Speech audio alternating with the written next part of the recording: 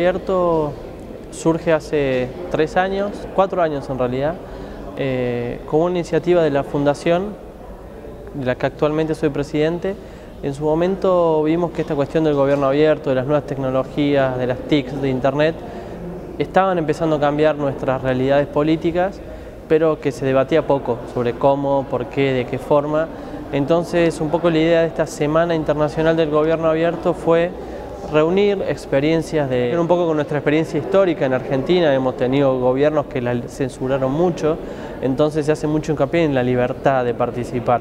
Y, y si hablamos de libertad de participar en esta nueva era digital, tenemos que hablar de acceso a Internet, de acceso a una computadora, eh, de igualdad, de igualdad tecnológica. Eh, tiene apenas cinco meses, estamos muy contentos porque nunca pensamos que se iban a presentar 55 países, de, 55 propuestas de todos los países del continente americano.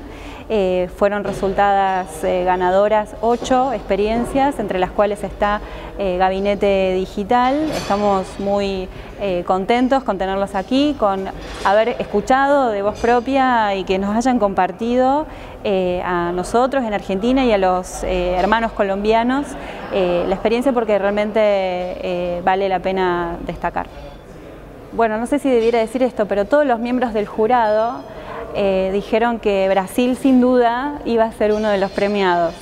Em, no, hubo prácticamente ninguna discusión respecto a, otorgarles el premio y lo digo con total honestidad.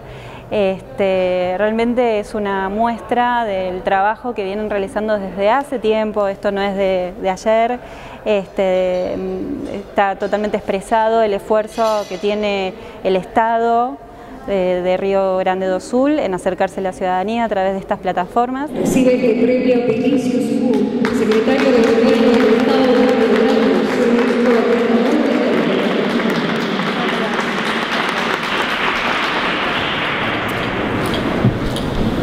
Bom, uh, para nós é um imenso prazer estar presente aqui, uma honra receber esse reconhecimento de nossa experiência que completa nesse período, nesse mês, dois anos de existência, uma experiência de participação digital através de um conjunto de ferramentas desenvolvidas para promover o fortalecimento da cidadania, utilizando-se né, dos meios tecnológicos disponíveis. Uma experiência muito exitosa e que no nosso país se tornou uma referência e ficamos muito honrados com esse reconhecimento e esperamos, inclusive, aqui na sequência apresentar para todos os presentes. Muito obrigado.